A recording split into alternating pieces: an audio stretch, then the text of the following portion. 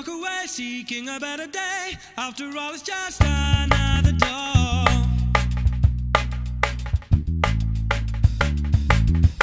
How to make you tell me that it's going well and you don't need my